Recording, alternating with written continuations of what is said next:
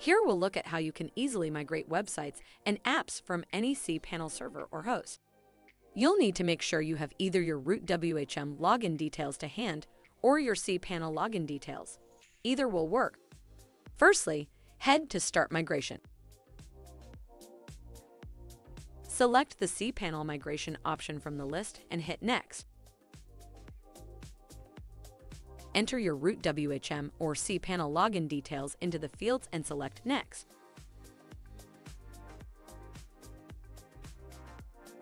You'll be shown a list of all the sites on your cPanel server. From here, you can choose to migrate as many or as few as you'd like.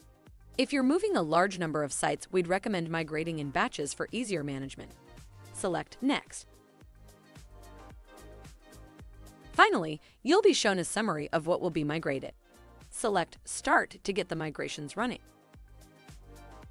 You'll then be taken the Migrations Overview page, which shows all of your current and completed migrations. The time to migrate a website or app depends on its size, but most sites should migrate within 30 minutes. The Migration Center can be used an unlimited number of times and is completely free.